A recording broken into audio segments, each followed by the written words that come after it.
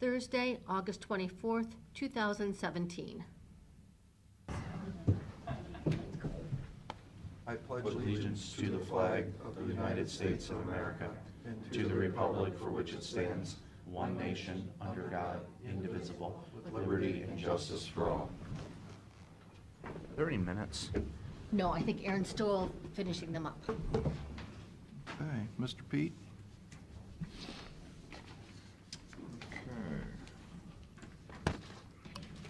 Should see uh, a letter from the Ohio History Connection going through there. I'm not sure who's uh, starting this, but uh, there's a request for downtown Sandusky Commercial Historic District. Um, What's that? Downtown Sandusky Historical District? Yes, uh, got us listed for a location 247 Columbus Ave and 100 West Market Street, which is essentially the office building and the parking garage. Um, They're having a meeting on uh, September 20th at 10 o'clock down in Columbus, if you guys are interested in going, anyone here. Um, Just a couple of notes that they, they put on here. um,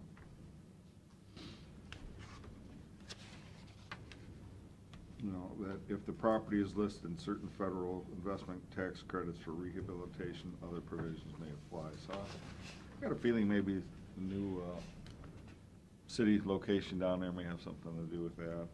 Um, But it doesn't mean that any limitations will be placed on our property if it is indeed listed. So, um, Just so you guys are aware of that. Um,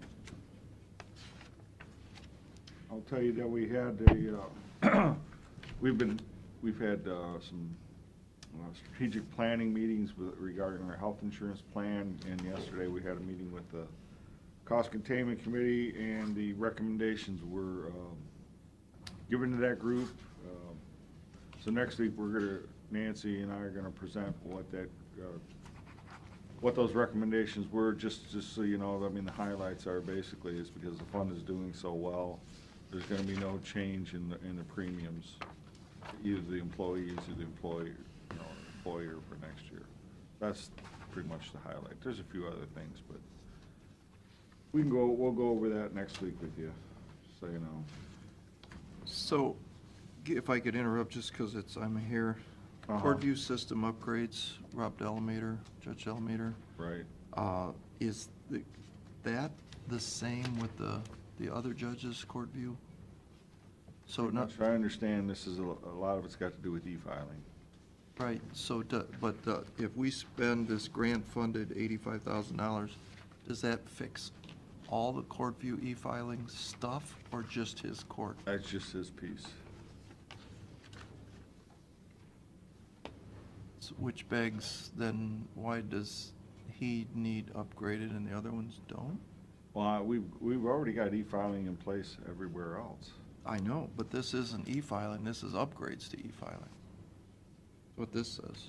Oh, it's my understanding that's what this was about, was getting e-filing in place for, No, it definitely says upgrades to Courtview Case Management System, leading I me. think that's what the upgrades are for. I can probably give you just a, a little insight into that is the e-filing system that's in place now, that was put in a couple of years ago. Uh, the clerk's office has been having issues with that. It's probably not unknown, and there's been a lot of meetings over that. Mhm. And so that, um, there's negotiations going on with Courtview, which has been providing That's that here. other system Yeah, for years, and Courtview is able to now also do e-filing.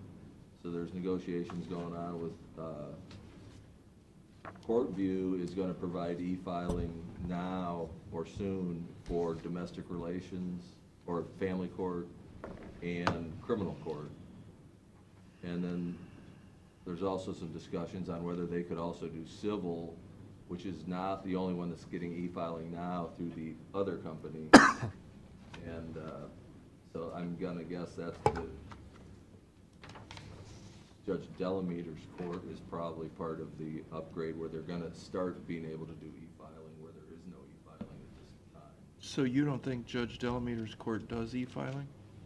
They have not done e-filing up till now. Only the civil courts have had e-filing. But CourtView is putting in e-filing that's gonna cover criminal and family and domestic and so forth. So That's being implemented.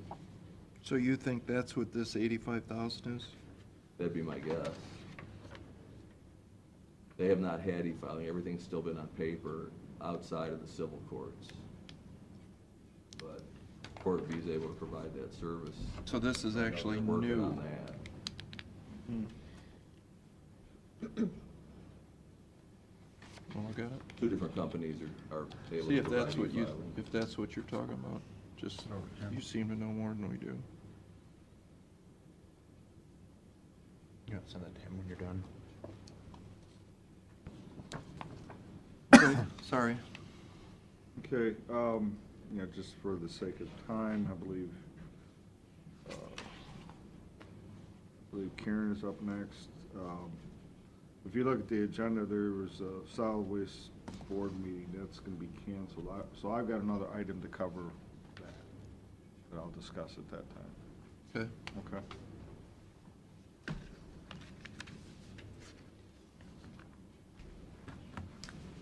That it? Yeah, that's it for now. I got, Pete, I have a question. You know, we had a- several complaints about out at the Meadows with the TV, people not being able. Did we settle that with Buckeye? No. What's, what's the problem? The, the problem is the, it's not Buckeye where the server comes in. It's our wires going to the repeaters to make it work throughout the system. This isn't exactly their problem. We've had this issue before, if you remember back, when we had the cable caper. Uh, they signed a new contract, and we've, everything's been fine up until now. Yeah, but I, I think what you're, what you're gonna find is that, um, I- there's something between where it connects in that one room, and then there's like some sort of repeater system that goes through the building. Not sure how that works. Yeah, I, I would, um, you know, who would give you the answer in one second is either the maintenance guys there now or Craig, because he knew about it too. They've been having trouble. Well, our with that maintenance for a guys while. have checked it out, because I told Lori, I says, let's make sure that it's not on our side. And from what I understand, it's not, because things were working fine, they had a problem, Buckeye came out, thought they had it fixed on like a Friday, and come Saturday, we're back to the same old problem, where there were, essentially, there's some special channels that we're paying extra for, we're not getting. The baseball? Baseball and a couple others, I, I guess. But they're getting the other channels. Yeah, Oh, the other channels are working. yeah. Oh, then it's not the wires. It's not. Yeah, so. Yeah, I think it's, I think, I think what happened is, and that's what I told Lori, Did and we she's pay still the trying to bill? figure out. Yeah, we paid the bill. I think what's happened is that, uh, again, you know, they can reset stuff down there in their offices on their computers, and I think they reset the wrong thing. Well, that, most of that stuff comes out of Toledo, you know, when they reset that stuff. That's why. Well, I don't know if it comes out of, the- I don't know where it Often. comes out of, but just, you call down there, because, I mean, I have issues at home, and that's what I talk to, or folks here in Sandusky. and- The people that you're talking to are really in Toledo, and they're the ones that are Whether reset it. they are or not, it sounds like they're have they said sitting in that front of they're- computers and they go, because they're like, try this now, or try Ah. this. and I'm gonna do this, that, and the other thing, yeah. I mean, So they're still working on it? As far as I know, yeah. Think about it. Lori, I talked to Lori last night, and she just says, at least right now, they're not getting many complaints. Okay. Hey, speaking of the nursing home, you know, we, we still got a half a million dollars in that sunset sales tax, and we more or less committed to use that to fix up the nursing home, and I think we owe it to the citizens, the senior citizens out there to get that money going, and I'm not sure what the holdup is, why we're still holding it in abeyance. Well, I think the holdup, we don't have the million dollars, right? That got spent.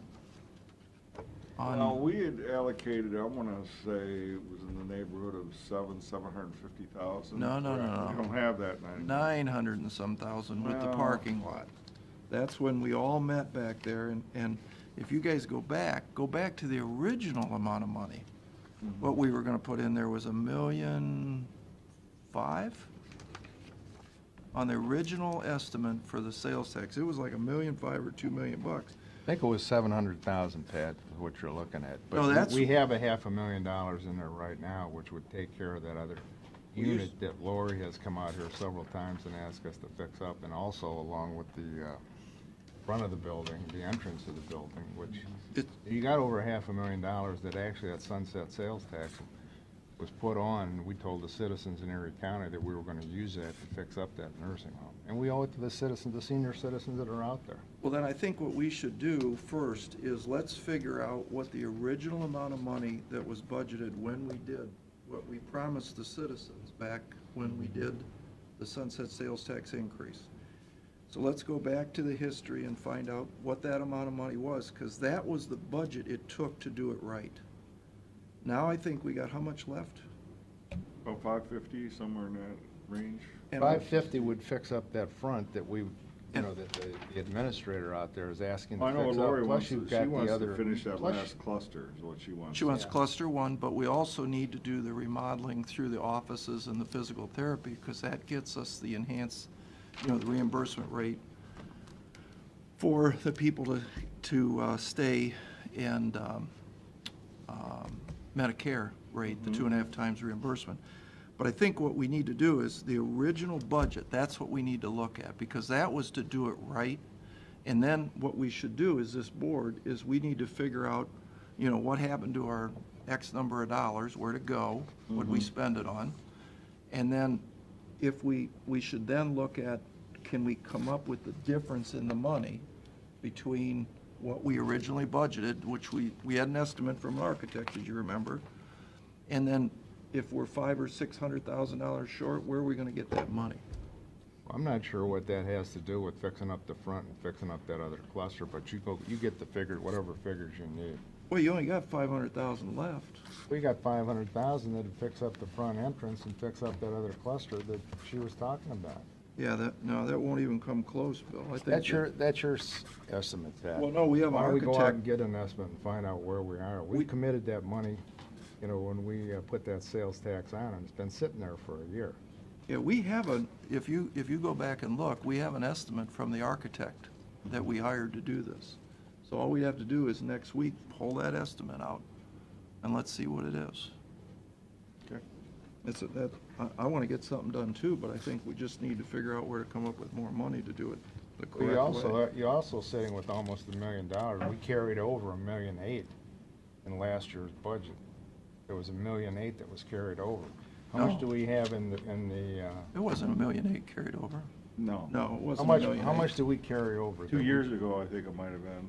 Yeah. Last year was close to a million that, we didn't carry it over, we reallocated to other funds. Yeah, we didn't Put carry fi- You anything. put what, five hundred thousand in the rainy day fund? No, No, t- I think two hundred and fifty, I think. Two hundred and fifty? right. That's a long way from a million. And about, I think if you take a look I mean, the I'll go figures, back there and was, look at there it, was but I know pretty we close, maybe it was a million six, I may have been off by a couple hundred thousand, but we carried over well over a million dollars. No, we didn't. not last year. No, we Bill. didn't, Bill. It was closer to a million. Year before it was higher. And we didn't so carry, about a And million? again, we didn't carry it over, we. we didn't carry it over. Reallocated. Put it into, Well, we, Right. what, do- what do we have in the uh, maintenance facilities? Capital fund? Uh, Together with what we put in last year, we've got probably around nine hundred thousand. It's sitting there. I'm not sitting there, it's for capital projects. Well, you got a capital improvement fund that you could use for the nursing home, along with the five hundred thousand that's sitting out there. I think the, that, I think where it stalled was, wasn't there certain commissioners that were talking about selling the nursing home? That's where we kind of stopped on this. Well, since we're gonna keep the nursing home, I think we ought to fix it up, for the people who are living there especially. I And we mean, were ju- talking Just so you know, about I got a call yesterday. Selling the by, uh, nursing home? I've heard A it a firm in mentioned. New York wanted to know if we were still interested in selling. Okay. Mr. Shenigo? Yes, sir. on this uh, e-filing system and so forth from the juvenile court, that is what it is. It's a- The court view case management system is in place now. It's what's used to, that system is how you look up all the things that are filed in the court. And this is an upgrade to that for the juvenile court for e-filing, which is instead of the lawyers having to bring all the paperwork into the they file electronically, Same as the other court which is how civil, right, how civil's been doing it for the last couple of years. And e-citation, e-pay, that's, again, it's a way of sending out the cases. It's just the, the, the, uh, thing, same thing that's being upgraded in, uh, the family That's court the other one. and the criminal court through court view. This is the juvenile part of that. Okay. All right. We digress. You Go ahead. Well, just as a possible other insight to that, with juvenile, with um, Judge DeLamatre's court, the majority of filings are juvenile, and those are confidential, so they had to have a a slightly different system to protect information that would be available through the civil or the domestic relations. Hmm. Okay, well, you didn't know you were going to have that many people coming up, did you? I'll uh, kind of go through this very quickly. You've got the information in front of you. Um, Children's Services, I'll leave that in case you want to ask uh, questions of Angel. Family and Workforce, you've got some figures there on uh, what the sta- the statistics were for this two-month period. And uh, Ohio Means Jobs, being pretty static as far as jobs available in the area. Um, A little concerned about the Mucci Farm project.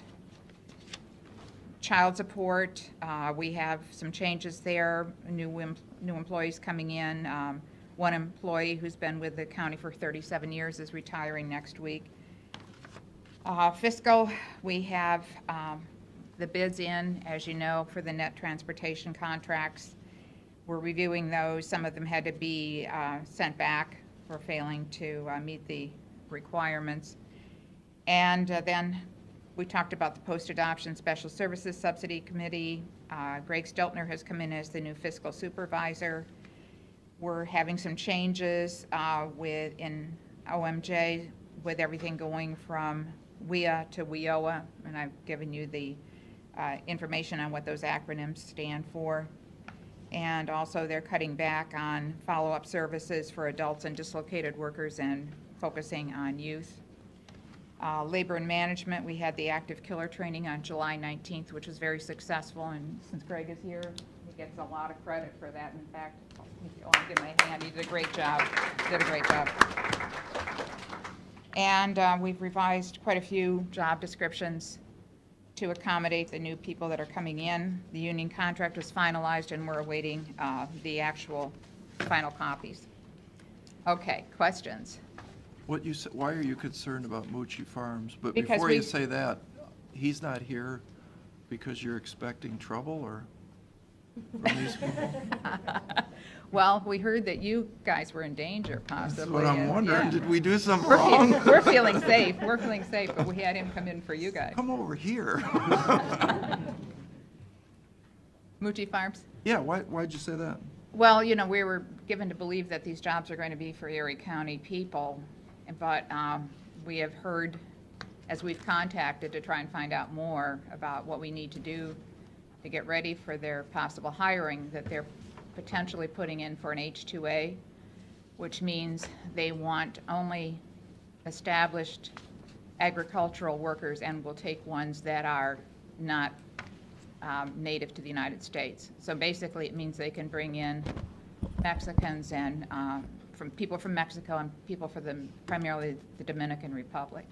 Yeah, I, I I think you might have some, a little bit of inaccuracies. I think what they told us originally was they want to hire, you know, locals because they're a 12-month operation, which is different than what an H-2A can actually do. Mm-hmm. H-2A can only be there, what, eight, you know, depending on the contract length, eight or nine months. Correct. So that provides a, a problem for them, you know, to, mm-hmm. to be able to do that. They'll use those, just like Cedar Point or Kalahari or anybody else does, when they bring in forces.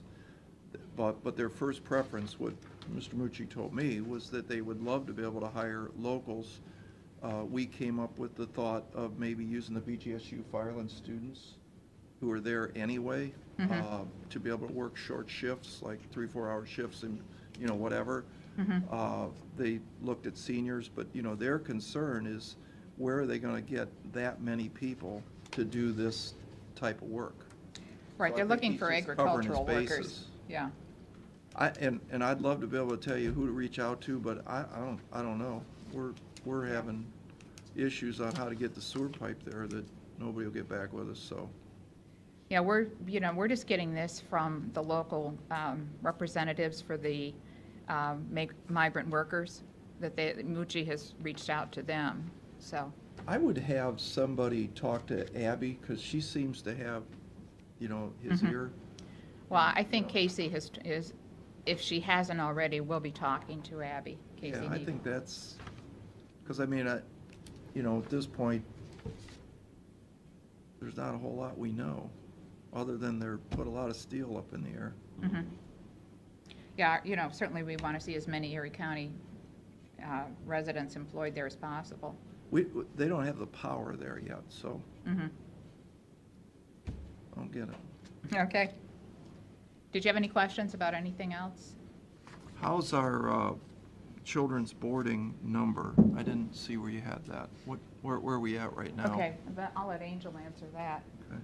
Good morning. Good morning. We are looking pretty steady in the world of the boarding bill. What I can tell you is some of our high dollar children, we have been able to reduce that piece, but we are also uh, filing more emergencies as we speak to more children in the community. The positive to that is we were able to certify additional foster parents. We had one of the largest classes that we've had in the time I've been there. And in addition to that, we have additional foster parents who are signed up for the fall classes. So more kids can stay local. More of our older kids that were in a higher level of care have been able to come home. But we do still have the struggle with about seven children who are very expensive to the boarding bill, but require a higher level of care. So Mhm. those children are in residential at this point. But we've reduced that number, though. I We think, have. weren't you at like 12 or something like that? Yes. That were the real expensive ones? Yeah, we were actually at 15. 15. And now we're at seven kids that we're targeting and looking at. So that is looking very good. We also have included the Mental Health and Recovery Board. We have individuals that are meeting on a regular basis to continue to look at ways that we can reduce that and become innovative in looking at Medicaid and how we, you know, tap into those resources as well. So just uh, for the, because you're here, might as well hear this. We've been working with like Judge DeLamatre and now Judge Tone, and we've been trying to figure out, you know, we got this millions of dollars that's going out in boarding, and it seems like that's a, a pot of money that where's the cog in the wheel? So it's, a lot of it is in the courts, we, we found out, was, you know, the public defender, there's the one lady, Mary or something, that's there only half the time, because she splits between here and there. And so a lot of times they can't get the schedule to get the case processed. So we found these cases that some of them will go on for years.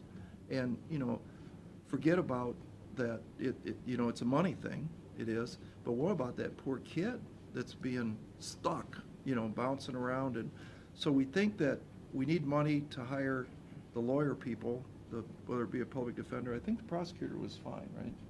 I mean, as far as that. Maybe. But then the, the other one was the, to get the court-appointed lawyer, which I didn't understand. You know, if a kid goes in, he may have a mom, a dad, he may have a grandparent, he may have, and there might be four kids with three different fathers that all get lawyers. So we gotta hire the lawyer, and if we don't have a lawyer, because we don't pay enough, then the case goes, stops. So we're, I think the judges are really, I think they're really conscious about this, and they're trying to say, how can we move these cases along faster? And if the cases move along faster, it's good for the child, obviously, but it's gonna save us money, you know, because we won't have these boarding costs, and, you know, and then we're gonna try and do the, the inpatient treatment system, because that's what we keep hearing from, you know, Ziggy and, you know, all the judge guys is, do I do with these people? You know, we send them to jail, it's just like a revolving door. They send them to jail so they don't die. You know, we could release them to the street, but then they'll just overdose and die. Most of are drug people. So we don't have a way to fix this, and we think that, you know, Erie, Little Erie County is ultimately gonna be one of the leaders for small counties in the state, because we'll have detox, we'll have inpatient, we'll have sober living, and, and we're gonna have this for men too, if we can strike a deal with Lorain County to take thirty of our men up there. So all of a sudden, you'll have the tools to maybe help these people get clean and maybe get back to productive lives and bring their children back, which is, I'm sure, ultimately all of your goals, you know, but you can't put that kid back with a mom that's a heroin addict. So, you know, but, you know, it's not fair to put mom, you know, arrest her for a petty crime. You've heard about the F5, you know, that thing now that they're not gonna send them to prison. But it's not fair to just dump her into our jail, you know, which you, you've seen over there, all these, these 30, 40, 50 women in there, and they're not getting any help. They're just there, and then they come back out, and they go do back the same thing. And it's like I've always said is that, you know, it's really hard to have somebody stay clean when they have no house, they have no car, they have no job. They're in the same situation they were when they went into jail, and they go right back to the same people that caused the problems and get them high, and, and now they die. So, so I think we're, I think we're very close, right? Things are moving. But I appreciate you sitting down with Judge DeLamatre and working through some of these problems, because we would, we would never be aware of the flow. You know, you guys do the, the flow, and we, we're not aware of that, so I think uh, Judge DeLamatre and, and Angel are having some really positive conversations and trying to help us as we look at the money, because that's what we're looking at, and bringing that down, so I appreciate the time that you've, you and Karen have spent uh, working with him and doing, working on that, and appreciate all the work that everybody in the room does to help everybody, to help so many kids that really, kids and families who really need your services, so we appreciate it.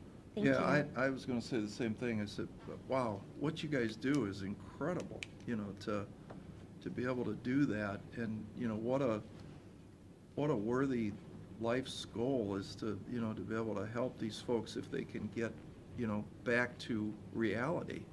You know, and, and they tell me the stories, you know, whether it's the sheriff or the, you know, angel, and it's like, wow.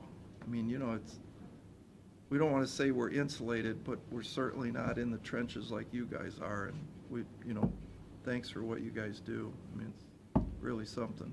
And behind me is many of the team members of our investigation unit. So those are the individuals that go out when we get that initial call or concern. So we are so happy to have the team we have. And I don't think that we could do the work that we do or keep as many kids in our community or preserved in their families if it wasn't for our team back here. Yeah. So I'm Thank you. very happy.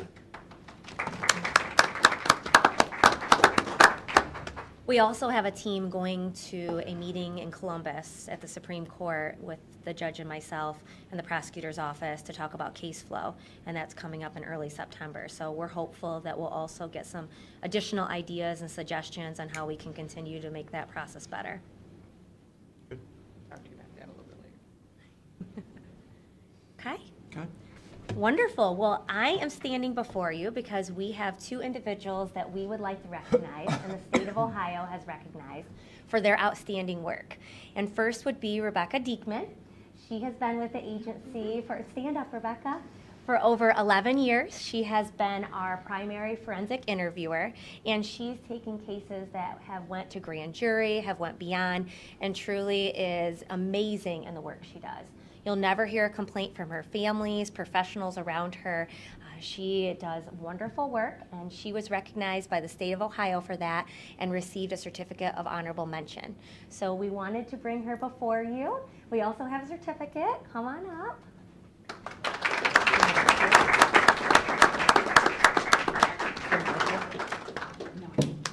Oh.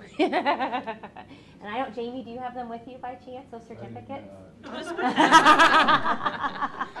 well, thank you. And we appreciate everything you do. I know your family's here as well. Yeah, So uh, they surprised me, so I was like, why is my husband here? what we told her is she's taken the lead in Erie County for human trafficking. So she has educated many individuals talking about what we need to do here in Erie County, that it's not something that doesn't happen here. So we told her today that she would be giving you a brief presentation on that. So she was unaware that her name was going to appear up there and she was going to get this recognition. Well, let's hear the presentation. You came all this way.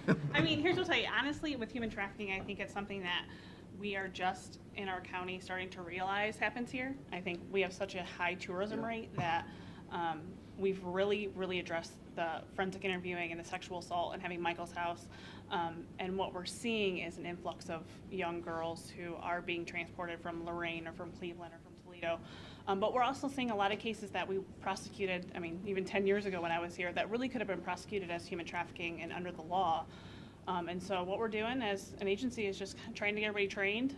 Um, we're working with the prosecutor to start looking at maybe prosecuting some of those cases that are more than just sexual assault, um, that are actually, you know, girls who are being trafficked by their parents or by uncles or by, you know, friends of the family and actually holding them accountable for the federal standard instead of just our state standard. So that's the plan. Are the girls all drug-related issues in most Surprisingly, cases? or no? surprisingly, no. I mean, some of them, yes, once they get kind of into that lifestyle. Mm-hmm. Um, a lot of the girls that I'm meeting, because what's great is because everyone's trained, we're identifying victims. So we're actually finding victims in Erie County. So the great thing is that we're finding a lot of very young girls. So we're talking early junior high, 11, 12, 13, 14, um, who unfortunately have ran into some older boys, 18, 19, 20, 21, um, who are kind of preying on um, a family history of trauma usually is a pretty consistent um, thing that we're seeing. So family history of trauma, history of being involved with us, um, and then usually some minor juvenile delinquency stuff that's kind of starting that initial where you're going into diversion.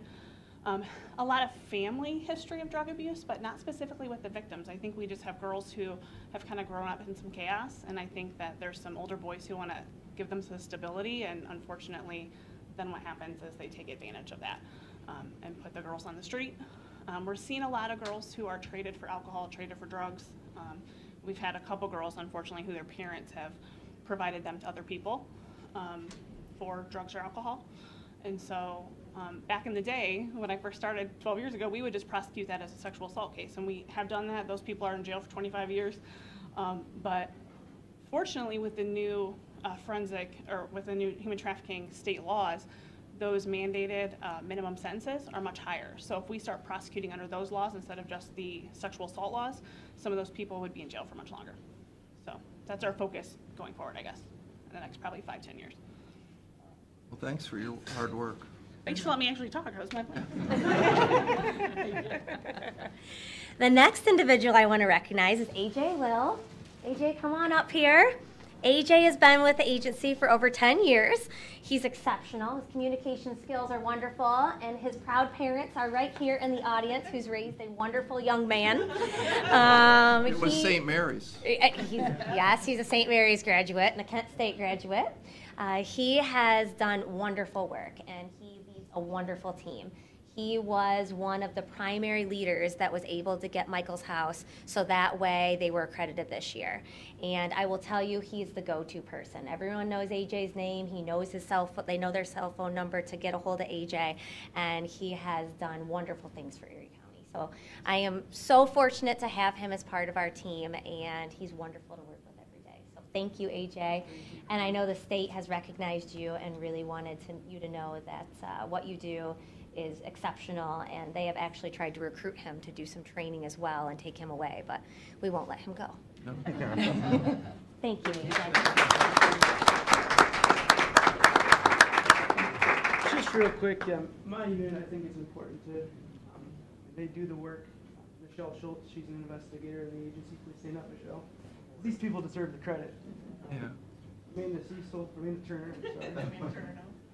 Emmy Clyburn. Uh, Marissa Lindsley just started at the agency. I'm Forgetting somebody, obviously Rebecca. I was, I thought I was coming here today for Rebecca.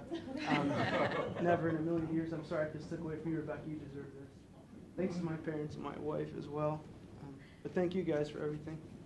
And I know your wife wanted to be here, but it's her first day starting at school, so she was disappointed she couldn't be here with the girls. We have great leadership here, so thank you guys for everything you do for us. Yeah, thank you for what you do, AJ. And stay standing, because there's another piece that Craig's going to speak about. Um, You're gonna arrest him? No. Not today. Uh, For you guys that don't know me, Greg Hall, I worked at Sheriff's Office for 17 years now. Um, I'm assigned down to Job and Family Services as their um, 4D deputy. What that is, is basically with the ch- child support aspect of it, but it's not just child support. It involves, you know, children's services, income maintenance, the whole building down there, as I deal with all these different fires all the time.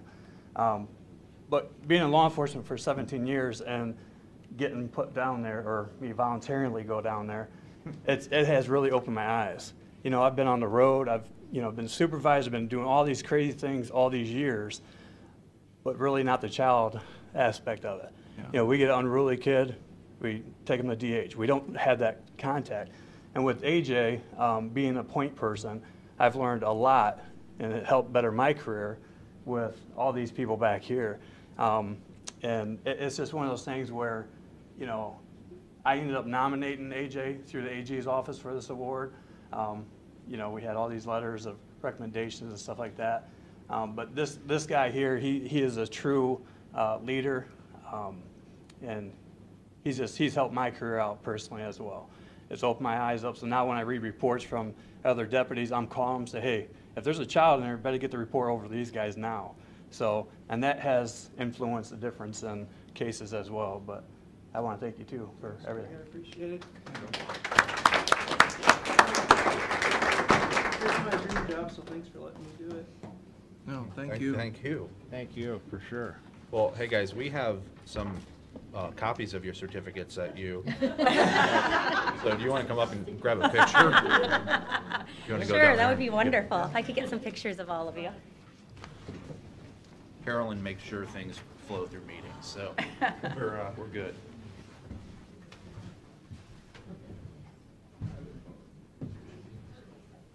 They got, they got people taking pictures, I think.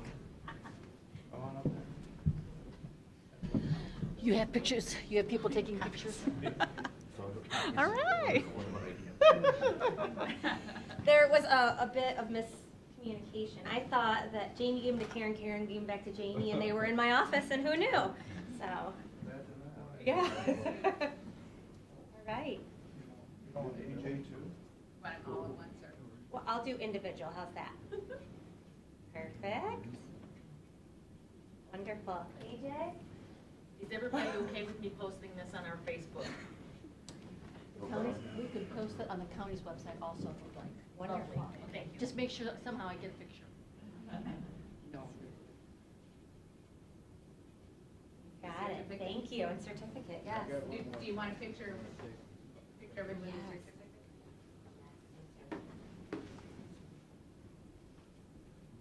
Oh, I like your camera, Mr. Monahan. This is a nice one. Rebecca's gonna have a baby. Smile. Oh, that's good, one more. Oh, good, and then one more.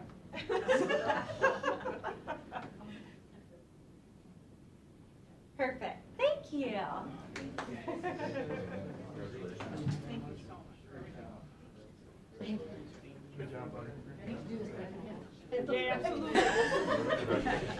Don't worry, I'll get you the real ones.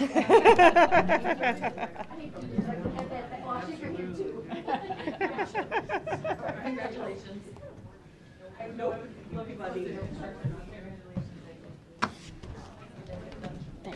Right, so everybody can. Congratulations, boss. You guys don't have to leave. Oh, yeah. But we have solid waste coming up. The airport report's coming And up. the airport report, yeah. No, yeah, I think we'll leave. Thank you. Sure? Thank you, guys. Stan, you can't hold an audience, buddy. I was gonna say, top that. Yeah, Tough, tough act to follow. yeah. We got runway lights and things. That's true. All right. AWOS. So we're going from a heroin problem to a runway light problem. Seems pretty easy to solve to me. Yeah, it's, I have pales in comparison to uh, the previous segment. There's no, no question about that. Very, very blessed in our counties to have these kind of people working with the monumental issues we're dealing with. We're very blessed. Okay, well, I think I've got all good news. You're in the black. Very close.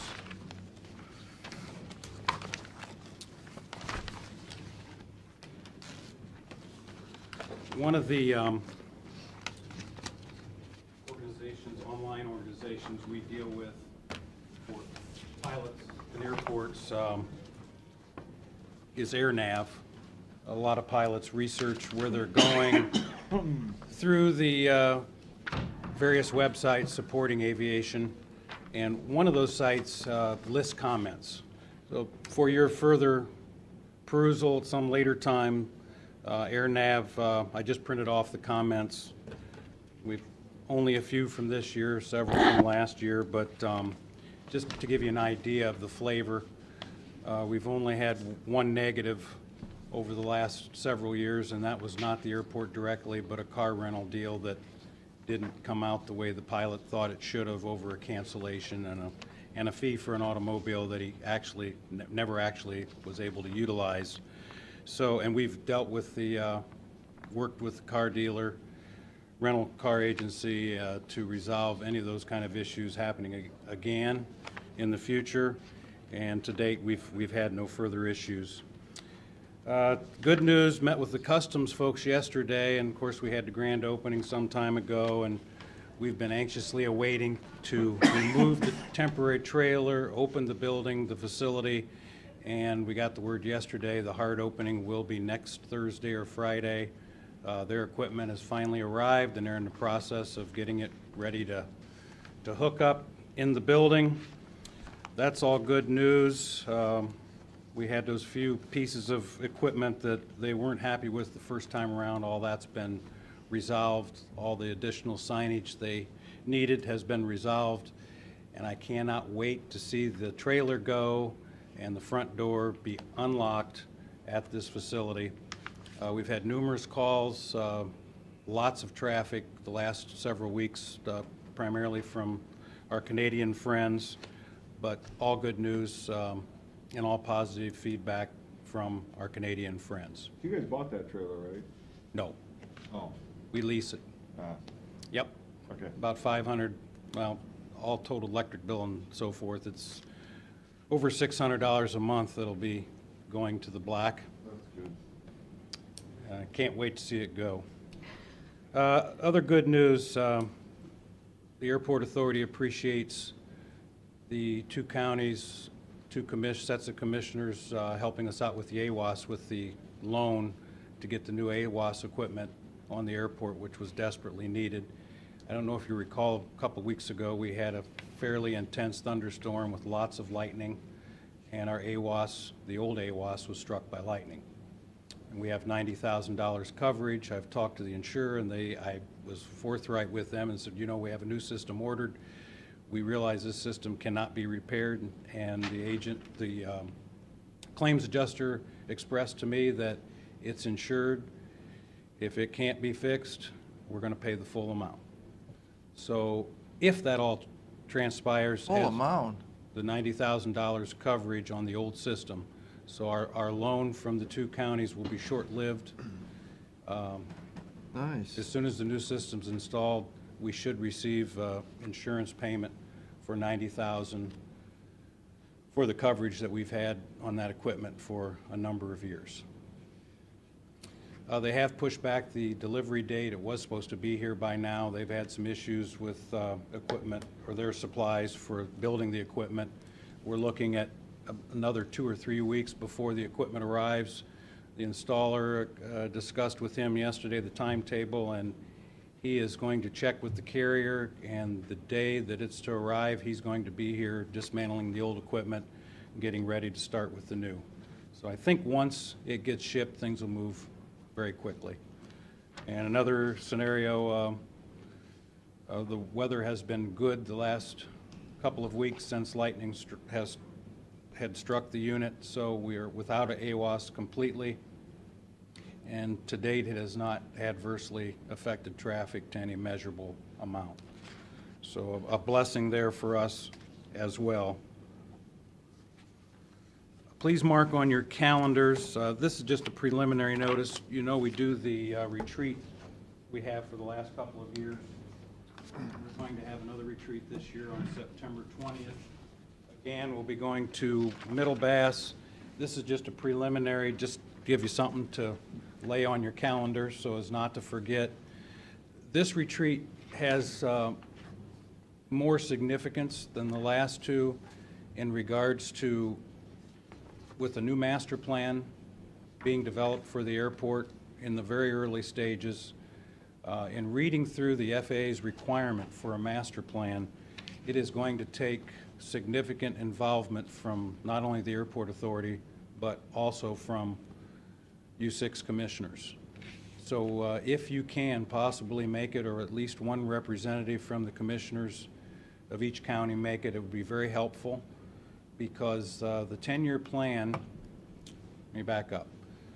The FAA has uh, taken a much harder look at their 10-year plans.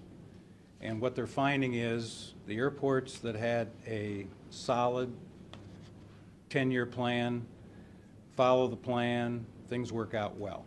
If the 10-year plan was not followed or was not thought through, their feeling is that there have been significant wasting of, of tax dollars in- through the grant process.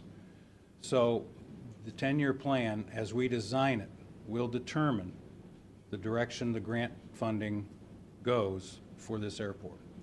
So I think we have um, a great foundation laid, but we're at a crossroads.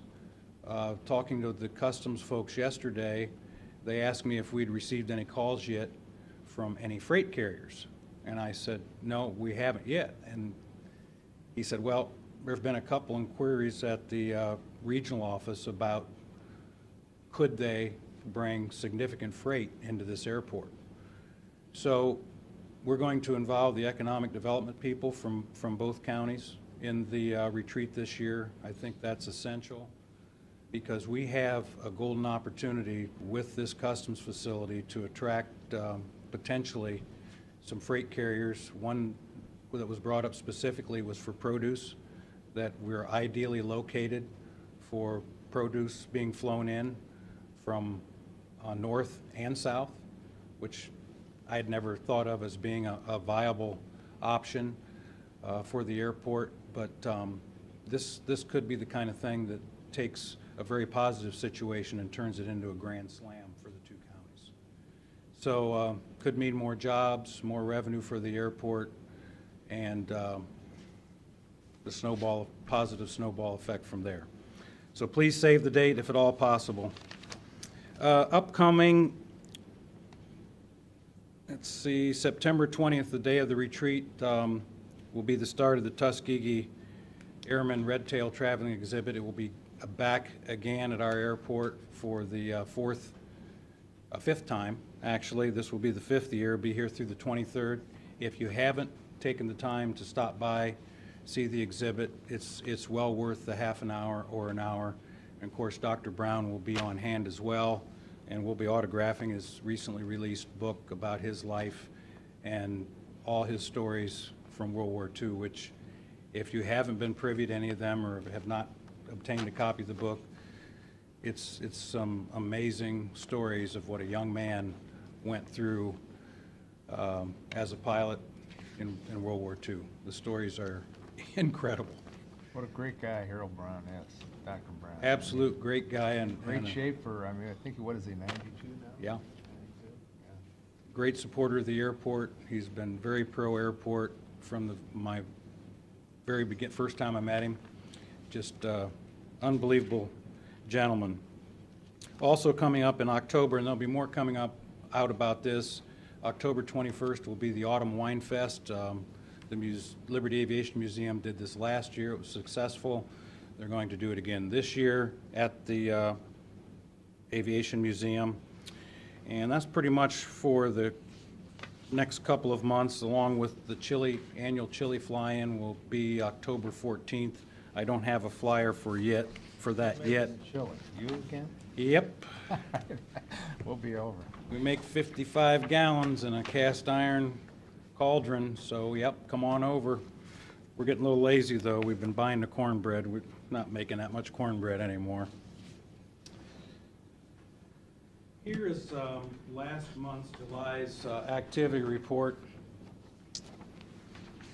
Just a couple things to note. July was, was a record month for us in terms of total volume. Um, The activity at the airport, general aviation-wise, is, I believe, about maxed out. We're, we're about where we're at There are only so many airplanes in the surrounding areas. Um, We're, we've been very, very consistent over the last year, year and a half with the number of general aviation aircraft that visit the airport. On the jet side, however, we're seeing continued growth, and I believe on the jet side, we have only scratched the surface. Um, I believe once the customs word gets out that we have the international capability, that we're easy entry, easy departure, easy clearing, that we will continue to grow more and more in the jet side of things. Talking to as many jet pilots as I can, especially ones that are unfamiliar faces, they all say, wow, we didn't even know about this airport until I was talking to so-and-so who flies for so-and-so, and he was telling me he cleared here, and, and it was easy, and that there's a diner on the field, and it's a beautiful place. So that word is just now getting going, and uh, once the facility opens, the hard of the new, buil- hard opening of the new building, um, I think it's going to just um, really take off from there. And the proof is in the fuel sales. Uh, We're up about 24% this year in the jet sales. Low lead's about flat. In fact, we're even off a little bit at the moment. Uh, We can account for that. We're really flat. The uh, bit that we're off, less than a couple of percent, is uh, attributable to uh, mild winter and, and no island traffic. And also the Cirrus Group that um, flies eight Sarai aircraft into the airport training Air Force flight surgeons. They're now giving their flight surgeons um, flight training so they understand what a pilot goes through in combat or in, on a mission. They uh, typically came into the airport about 16 times or 20 times a summer, and every time they come in, they take several hundred gallon of fuel because they come. We take them to Mon Ami. While they're on their dinner break, we fuel all their aircraft. They come back and load up on our popcorn for the flight home, and off they go. So they've had fewer missions this year, uh, so that's the tributes. Does Lake Erie Shores and Islands give you any press throughout? I mean, do they, when they send their advertising, and they send it out all over the, I shouldn't say all over the country, but it's a pretty good sized area. I'm, I'm glad you brought that up, Bill. It- It's, um, they, a sales representative came around a couple of weeks ago with, and I can't remember what it's called, uh, and it's about Lake Erie's, it's everything that's in the area, a nice little booklet that you can advertise in. Yeah, we- we're very familiar with that booklet. And, and I said, you know, and they wanted us to buy an ad. And I said, you know, we're funded with tax dollars, we're, we're a public airport, we should be part of the, the equation, not buying advertising. Re- Number one, we really can't afford it.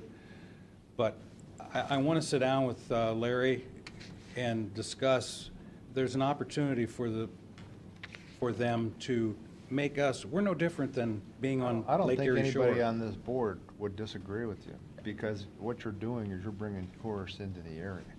Correct. That's what, that's what we're funding Lake Erie Shores and Islands for, to bring tourists into the area. And we're part of that picture. And I, I really believe that um, they can capitalize on what the airport has to offer in their efforts to attract more people.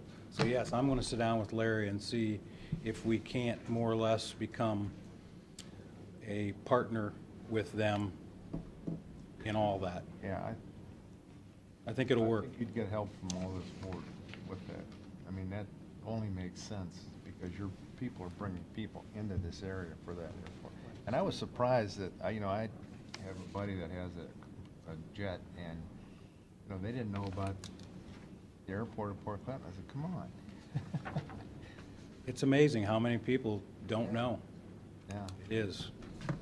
Uh, We did add uh, another jet uh, based at our airport. It has not arrived yet. It's currently getting some new electronics, but we expect it here in the next couple of weeks.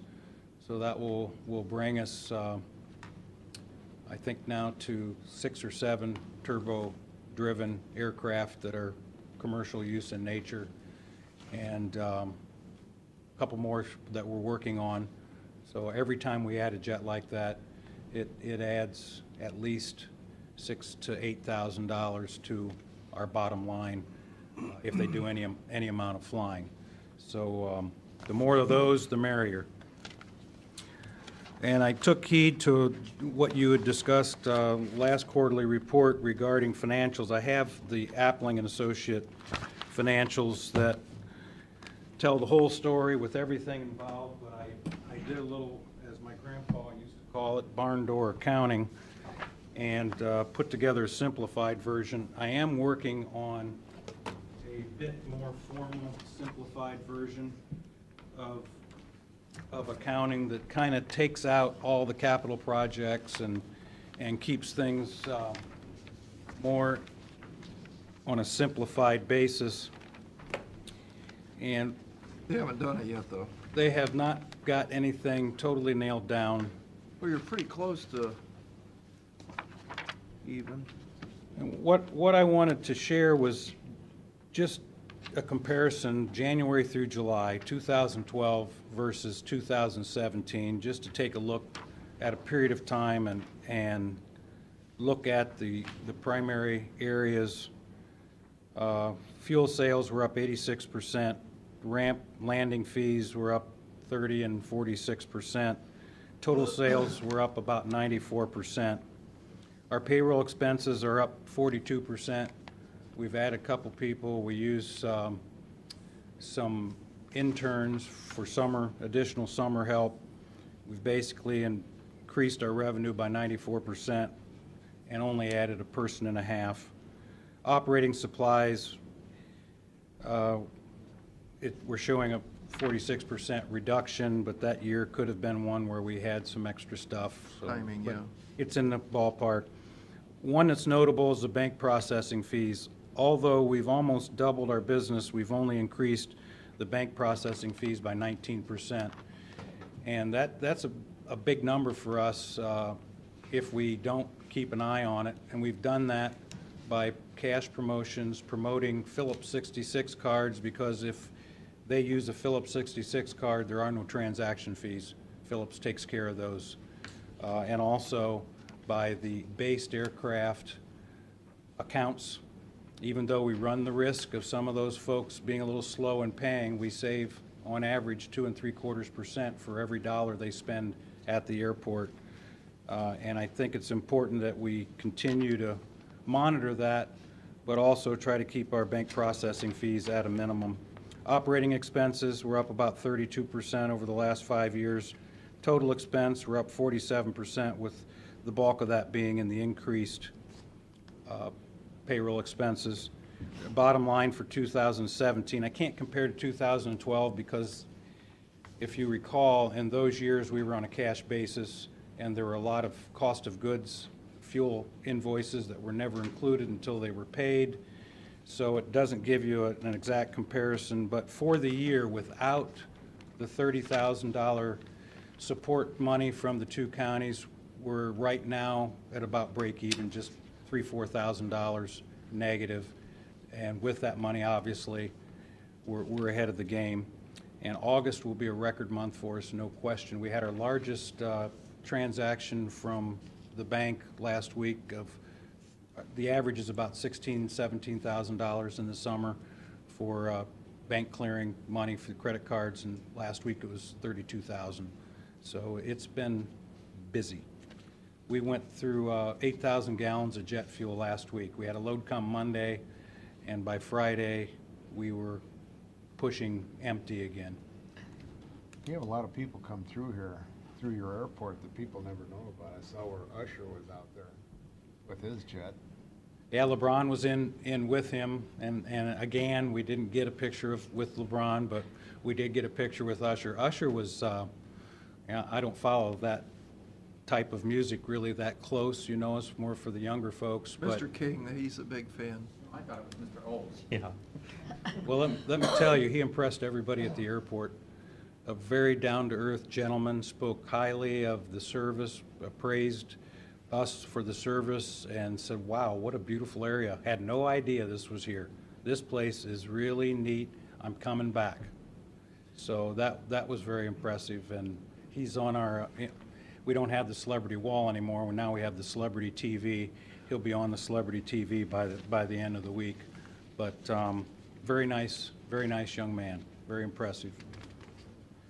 That's all I have. Well, Stan, you know, I know we went through a lot of turmoil to get the Griffings over there and get, get this whole, uh, situation, but I, but, you know, you're, you're really the guy that's put your heart and soul into this. I know I've told you this before, and kind of it's a thankless job sometimes, I'm sure, but I know you, you spent a lot of time there. And, you know, your numbers are showing that. I mean, you guys went from, you know, losing money to, you, you told us, give me a few years and, and I'll, I'll put this back in the black, and, and you did it. So, thank you for what you've done. I know, you know, the salary isn't maybe what you, you could make in other places, but your heart is, is right, and it, it just, it just shows. And I think Mr. King would probably say the So- So same. Stan can do everything. Stan's not only a pilot, so he understands that portion of it, but he can fix the equipment when it goes down. And then, in the middle of the night, when they're shorthanded, he's out there plowing snow at two, three Yeah. o'clock in the morning. And then he gets up and he goes back to work, you know, seven, eight o'clock in the morning. Right. So- Eight or and nine. he- He's obviously got the budgeting s- uh, side down as well. He can do everything. Right. Yeah, I, I, I've recognized that for years, Dan. I've told you this from here many, many times over the battles. And, you know, you were right, you know, the, the secret is more planes, more fuel. That's, that's the whole thing. And, you know, you picked up the revenue, you know, I think the Griffin addition was just huge. Because now you can fix the stuff there too, which is what you told us back then. Is, so, you know, I think it worked out great for everybody and just keep up the good work and we're here to support you. Well, thank, thank you very much. Since Pat brought up the Griffings, I see where they owe us about hundred and sixty thousand, a hundred and thirty thousand is. Yeah, yeah. What, what kind of plans do they have of getting that thing up to date? They, uh, we met with Tim King and Dave Foster and Tom and Thomas, uh, about six weeks ago. No, I don't think it was quite that, maybe a month ago. and discussed with them where they're at and how, how we're gonna get this back to zero again. And we, we have put a plan together. They are making weekly payments as agreed and extra. And they will have their extra, what they lost, the engine that they had to pay for twice, paid off in early 2018. And at that point, they'll be able to wipe out that 90-day balance in a matter of three or four months. Looked like it was gaining instead of losing. It was there for a while. Yeah, we're, we're right now at hundred and forty-nine thousand total, with sixty thousand four hundred in the ninety-day column. So it, it's been a struggle. And the sad part is, as we've all discussed, wow, they had it current, and then this happened. But they've been very busy. As long as they got a plan, that's what it's all about. They, they are paying every week. Uh, Dave and, and Tim are. We'll be meeting again in the next couple of weeks. And trying to keep us in the forefront of uh, the checks they write. But they, they've been busy, the shop's been busy. You know, a a couple years ago, we were all very nervous and concerned about it, no one more than I. And this time around, I see they're doing a lot of things right that they weren't necessarily doing all the things right before, and- and they're going to make it. They're going to make it. Well, when you take a look at the airport from what it was ten or twelve years ago and what it is today, it's like a wow. So, thank you for all you do. I want to thank you folks for all your support. You know, we've, uh, as Pat expressed, we've had our rough spots, but out of all issues like that come good things if, if Yep. wise people keep their heads and work through it, and we did. And we're all hopefully can continue to re- reap the rewards from this airport for years to come. Well, we you. put our best man on your board, so. Dave Foster. Oh, you, Mr. King. You know, and that's another thing. The airport authority is uh, now a well-oiled machine of gentlemen, since we are all gentlemen on the airport authority at this Save time, one, Save one. Right. with varying backgrounds, experience, and talk about a group that works together, finds different angles. Uh, It's so refreshing. It used to be when the board meeting week came, I didn't sleep. Now, I look forward to the board meeting because we all learn something. We all, we all figure out a way around an issue or, or find a new look at something. It's, uh, we have a very strong group of folks on that board. And Tim, you've done a great job. Thanks for serving on that. I appreciate being on there. Okay, Thank you, guys. So solid waste is canceled? Yes. Okay. Did you, well, let's Thank do you. access management since we're running. Thank out. you. Is that okay? why don't you do that? Okay. Do, we'll do what? Need a motion to recess into access management. So moved. Second? Mr. Old? Yes. Mr. Shenigo? Yes. Mr. Monahan? Okay. Is that you, Eric? Okay. Oh, sorry. Excuse me, Matt. Gentlemen, thank you. Um, This is our typical kind of small driveway variance we keep seeing cropping up. And uh, I've been talking to Carolyn a little bit about whether we might have some changes to the regulations in store for the next big meeting in May, maybe to try to smooth some of these out, so these sort of routine ones, Yeah. we can speed up or maybe almost administratively uh, decide. But um, gentleman is, as is typical, limited by the frontage he has. He wants to put a barn in and put a driveway back to it, so we don't see any issues with it at all. We have no objections to it, so. Okay. No, any I objections? should have, okay, I should have a resolution there for you, Mr. Monahan?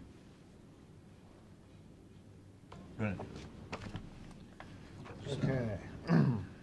Resolution, the Erie County Access Management Board of Appeals for the purpose of granting the variance request of James A. Jevons Jr. Second. Mr. Monahan? Yes. Mr. Old? Yes. Mr. Shenigo? Yes. Okay, Thank you. motion to reconvene? So moved. Second. Mr. Mr. Old? Yes. Mr. Monahan? Yes. Mr. Shenigo? Yes. Is that it? That's right. Do you have something else? I have a few things left. Okay. Did you want something, Eric? No, I just, Did you get a hold of Mr. Kraft? I come for the uh, access management. No, I haven't. Just haven't He's heard our a word. alternate, that's, Oh. Well, you did a great job in your alternate function. Yeah, keep up the good work. Thanks. thanks, Matt. All right, Okay. Uh, Just so you know, I got a request, and again, speaking of, you know, as Mu- Mucci Farms was brought up a a little bit earlier, I got a request from the city of Huron that they're, again, I think you guys are aware of what the project is, that they're. Yeah, we are. we- that Eventually, that's gonna get annexed, okay, by the city. Yeah. Um, That hasn't happened yet. They're expecting to be somewhat operational before that happens. So uh, they're gonna need access to water. So the city's gonna send us a draft of us giving them authorization to provide that. Okay. So you know it's coming. Um, The other item I have is, um, Gary Wellnight uh, got a hold of me and said, hey, we've got a um, couple of lighting projects he'd like to do. And there's some uh, rebate money available from uh, First Energy for these. Um, One is over at the jail in the Sallyport. Um, The total cost of that, what we're looking to do is, is to- is retrofitting the lighting fr- from incandescent to LED. Okay? Uh, it's one thousand six hundred and forty dollars to do the jail Sallyport. They could get a thirty-five percent rebate of five hundred and seventy-six dollars for that. Um, How many lights is it, do you know?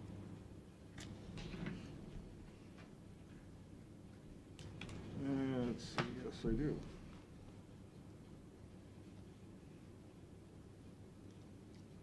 Uh, thirty-two. Oh, pretty good. Yeah, um, and they have the, The energy savings is how much? oh, let's see, would be per year, five hundred and seventy-five dollars. No brainer.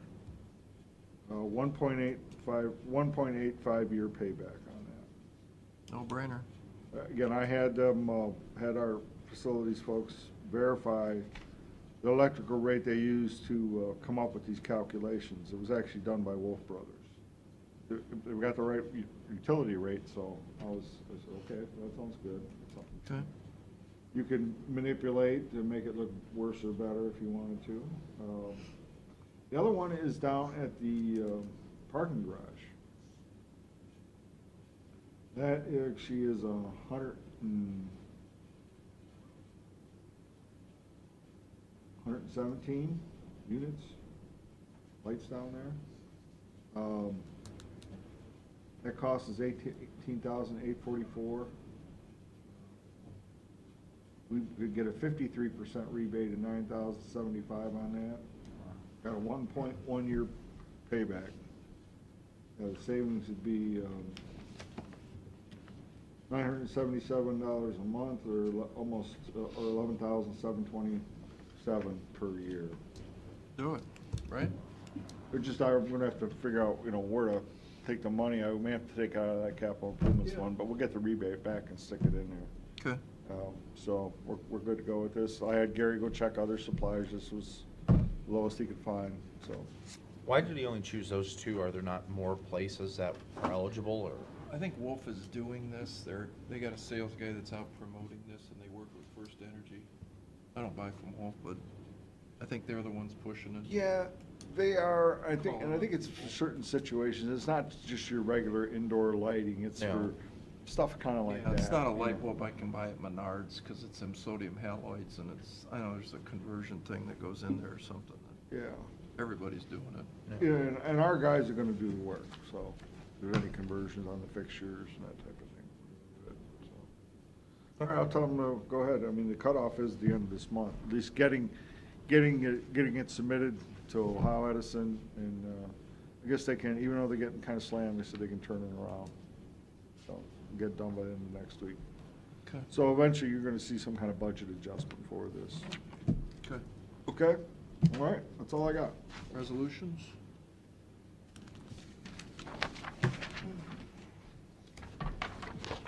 Motion to award the bid to Morton Salt. Second? Mr. Monahan?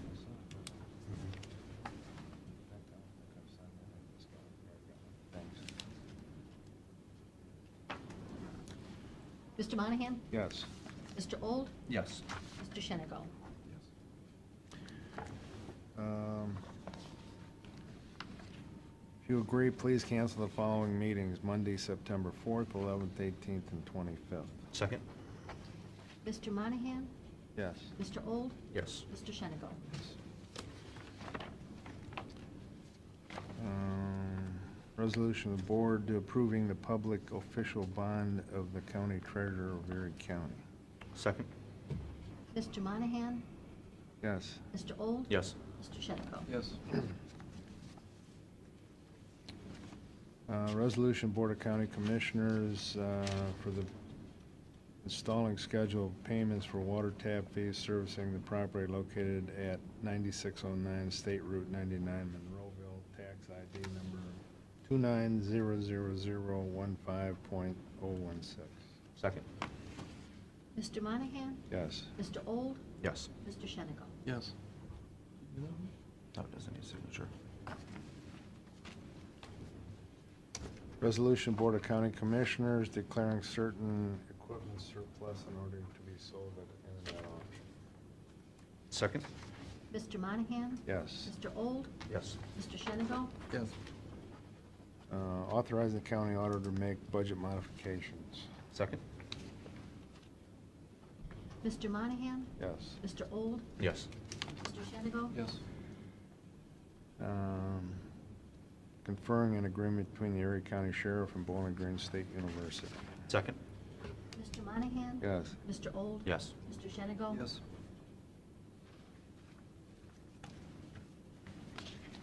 Um, Authorizing the drawing of warrants payments amount due upon contract order. Second? Mr. Monahan? Yes. Mr. Old? Yes. Mr. Shenigo? Authorizing the county auditor to make interfund transfers. Second? Mr. Monahan? Yes. Mr. Old? Yes. Mr. Shenigo? Yes. Authorizing payment to Lucas County Coroner for service provided to the coroner. Second? Mr. Monahan? Yes. Mr. Old? Yes. Mr. Shenigo? Yes. Authorizing county auditor to make supplemental appropriations. Second? Mr. Monahan? Yes. Mr. Old? Yes. Mr. Shenigo? Yes. Uh, Resolution of the Board of Commissioners for Fire, for Erie County designating depositories for active and/or inactive public funds. Second? Mr. Monahan? Yes. Mr. Old? Yes. Mr. Shenigo. Yes.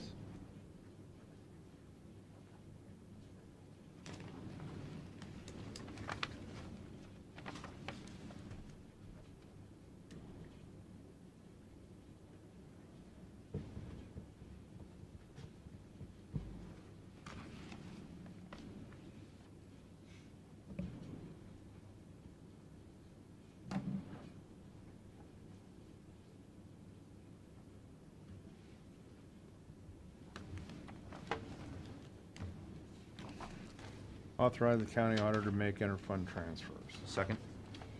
Mr. Monahan? Yes. Mr. Old? Yes. Mr. Shenigo? Yes.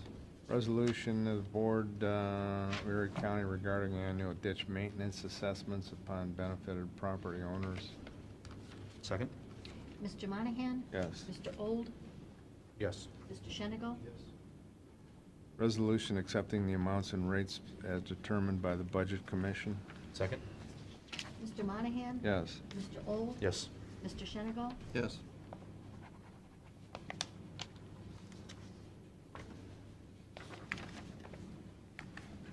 Um, Establishing an installment schedule of payments for water fees, tap fees servicing the property located at uh, 10201 Berlin Road, Berlin Heights. Second? Mr. Monahan? Yeah. Mr. Old? Yes. Mr. Shenigo? Yes. That's your house? Around the corner.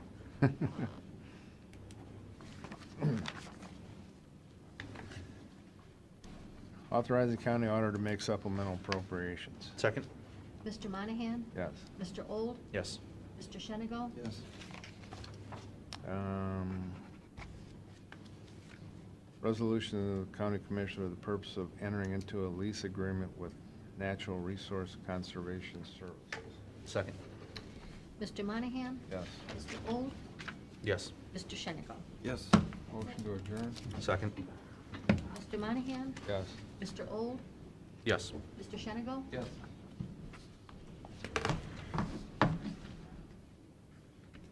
Hey Pete, on the sales tax, when does that usually come out? Is it like the middle of the month? Yeah, it's, it's, it's usually